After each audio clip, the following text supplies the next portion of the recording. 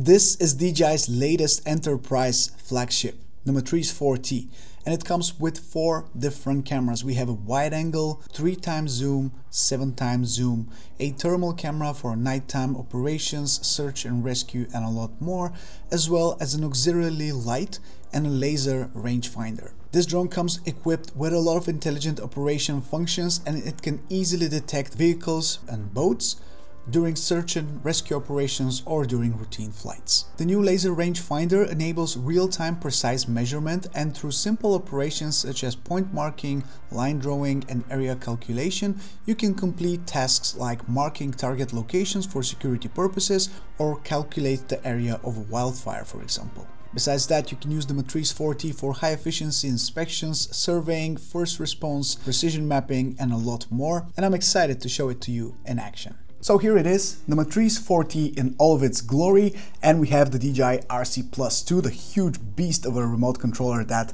is used for this drone. Now what's interesting about the Matrice 4T is that it's of course based on a Mavic drone.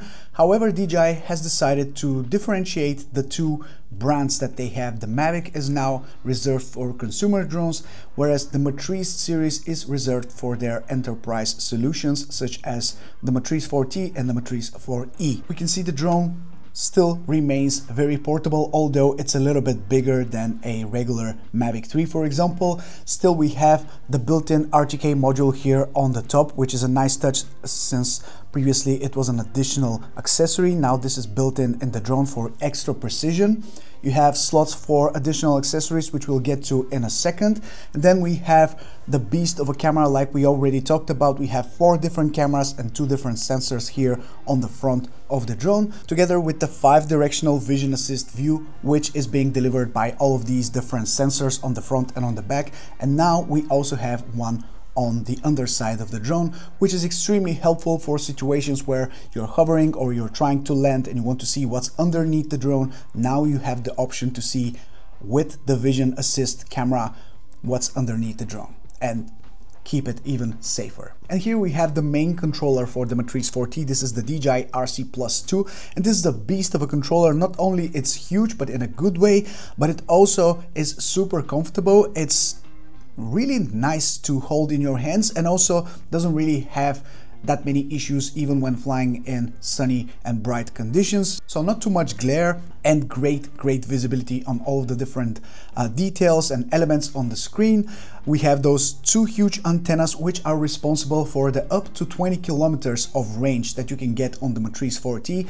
And even after flying this drone mostly in urban areas where we have a lot of interference, a lot of different obstacles between me and the drone, and generally a lot of antennas and different types of signals around, I still have had absolutely zero issues with the signal, zero complaints. It has been rock solid and now DJI states that they have a technology for reducing the transmission uh, issues with the signal between the remote and the drone and I've had nothing but positive things to report on that. Let's check out some of the AI features of the Matrice 4T.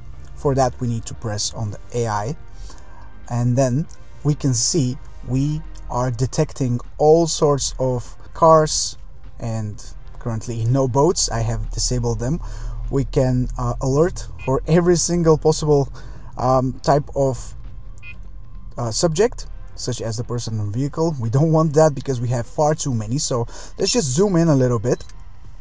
Right now we are using the seven times zoom.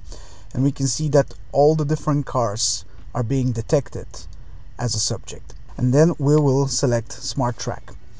Now this is something that uh, will be a little bit tricky to perform here because uh, the cars are passing by quite quickly. So let's pick this one for example and then the drone starts zooming in and following this exact subject. And it's not moving at all. It's only using the zoom and it's yawing around itself. So it can keep following that subject and it's like on those shows now it will lose it but no it didn't lose it it's actually using AI to detect the speed to kind of adjust and see where the vehicle will pop up after it's being lost and then it sees it again. We have a lot of bridges here, little bridges, and still it managed to find it. This is a super cool feature that will help with following, identifying, and um, keeping in the shot um, subjects that you don't want to lose. And we're still using 27 times zoom. Now it will probably lose it. Yeah. Now um, we can disable that and just zoom out all the way out from here because uh, we are very very far from where we started so this is a great test and as you can see the drone hasn't moved at all it's being it's been hovering in one place and it's just rotating and zooming. And it creates that illusion that it's moving around the, the subjects moving with them and following them but it's it's not. Let's take this building right here for example the big one. Uh, and let's just say we want to inspect the roof real quick as this is a very possible scenario. This is a big building. It has a rooftop but it also has a few things that could be handy to to be able to be checked out by the zoom we are currently using 112 times zoom, which is a combination of optical and digital zoom, and we can inspect some of these pipes, for example. We can uh, see if there are any possible damage or leaks or any problems with them, and I'm not too too far away from the building, but I have a full access of, you know, the the piping system, and I can inspect it real quick. If I want to I can jump into the IR mode which is the infrared mode and we can inspect again.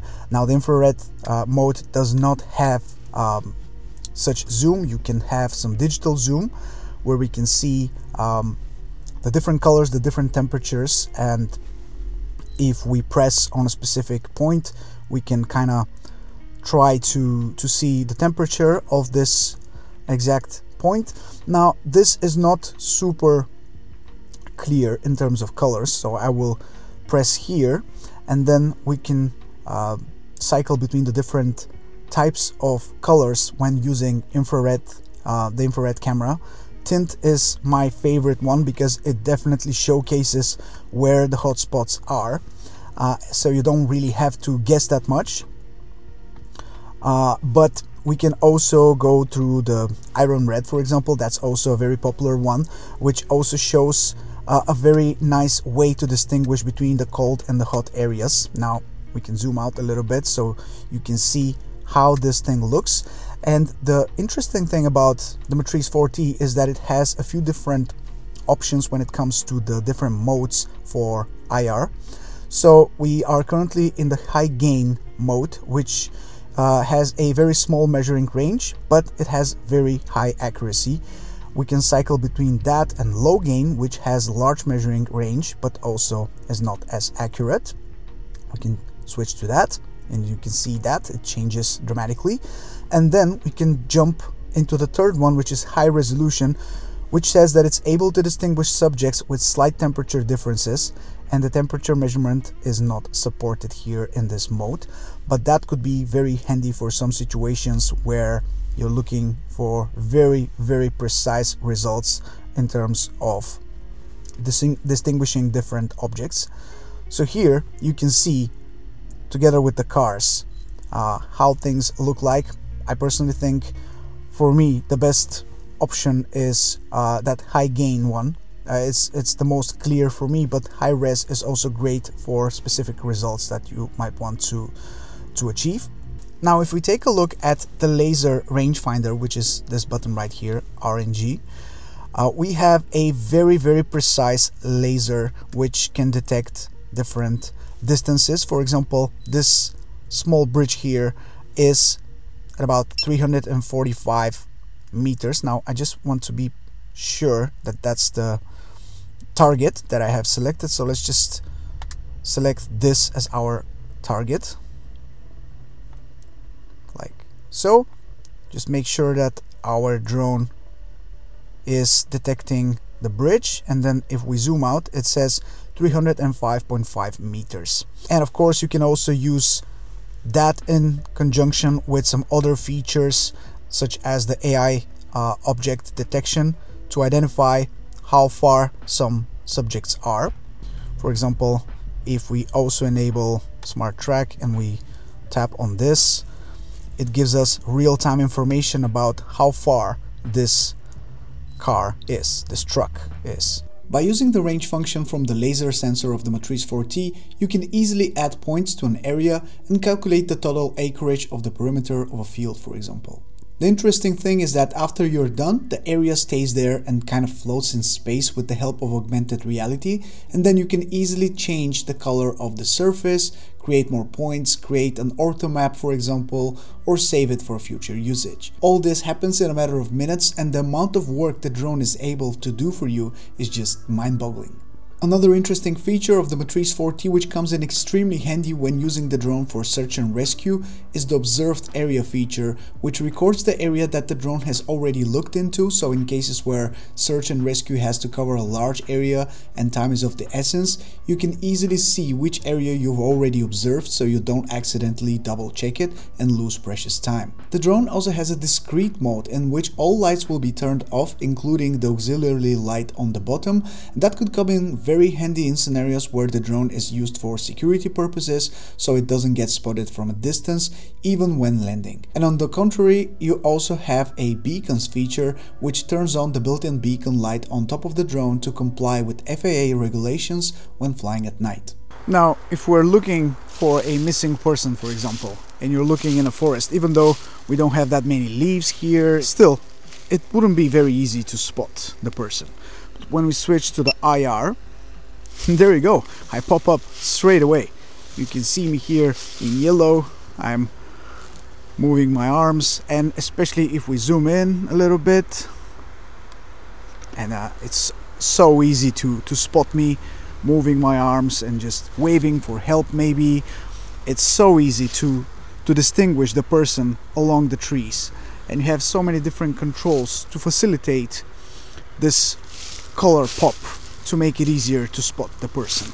Now what's really great about the cameras of the Matrice 4T is the huge diversity that they can offer in terms of different information that you can read throughout the different zoom range. For example, with the 3x optical telephoto lens, you can identify screws and cracks from a distance of about 10 meters and you can clearly read instrument data at substations. With the 7x telephoto camera, you're capable of capturing great details from signs and number plates up to 250 meters away here I'm about 400 meters away, I can still kind of read that license plate of the car pretty well, I would say. And finally, in situations where you have fog, haze or high humidity, we have electronic dehazing of the cameras, which can greatly improve the imaging clarity to match the conditions around you.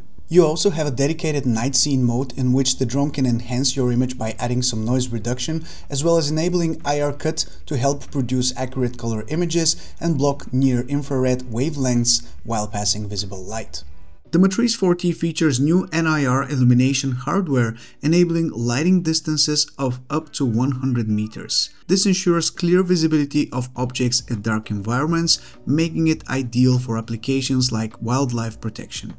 Now let's briefly mention all the accessories that you can attach to the Matrice 4T and give it extra features to use in different scenarios. So first we have a gimbal following spotlight, super handy to have for search and rescue situations. Then we have a real-time voice speaker and we have the RTK3 multifunctional station for even better precision when using this for mapping. Now I want to emphasize on something really important. I'm not an enterprise user by any means. This is only my second ever enterprise drone that I've ever flown after the Mavic 3E. So I'm not a pro by any means and I'm coming from camera drones and standard drones uh, and I want to tell you a little bit more about these types of drones uh, just from the standpoint of somebody who is used to flying cinematically and using drones for you know taking photos and videos this is a whole new world that opens up so many possibilities and every single time I touch an enterprise drone I'm just baffled by all the opportunities all the different things that you can do and I'm loving every single aspect of what you can do with a drone like this. So of course this is not the most comprehensive review of an enterprise drone since I'm not a pro when it comes to that but hopefully you guys have managed to kind of get a glimpse of what you can do with a drone like this and I'm only scratching the surface of what's possible since I'm having this as a loaner from DJI and I need to return it soon. But I want to thank them specifically for being able to give me this to try out for a couple of weeks so I can, you know, get to a new level when it comes to flying drones and see what they can do. It's been a real pleasure and like I said, a huge eye-opener for what you can do with a drone like this, how you can use it for good and how you can potentially save lives, which is super cool. With that being said guys, this is everything I have for you from today's video. I really had a huge pleasure of making it. If you enjoyed it as well, you already know what to do. Blow up the like button, subscribe to the channel for many more videos like this one, and I'll catch you very soon in the next one. Never stop flying. Take care.